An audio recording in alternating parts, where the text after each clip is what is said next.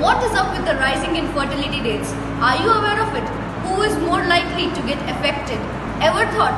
If you are one of those, maybe not, but this is the time now. We are here to help you with that. Greetings, we are Team Femtech. With a surge in the infertility cases globally, women are the ones to get majorly affected.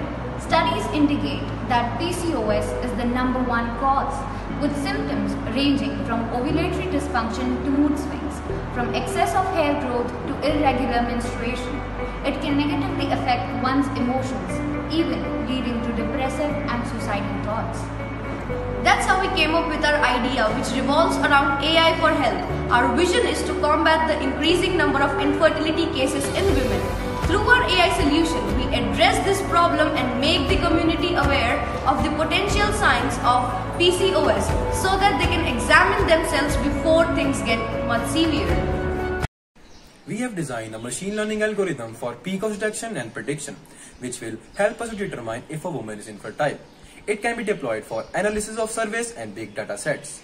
With that, our concept is to develop a smart AI chatbot for real-time conversation that can help user women to know better about their reproductive health and to give them a customized solution as per their response.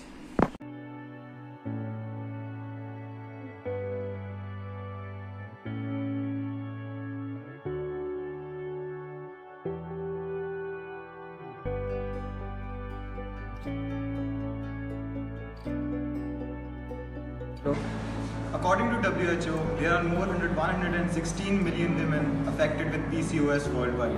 We aim to reach max population out there to save the womankind from painful consequences and help them lead a thriving life. Because happy women make the world happy.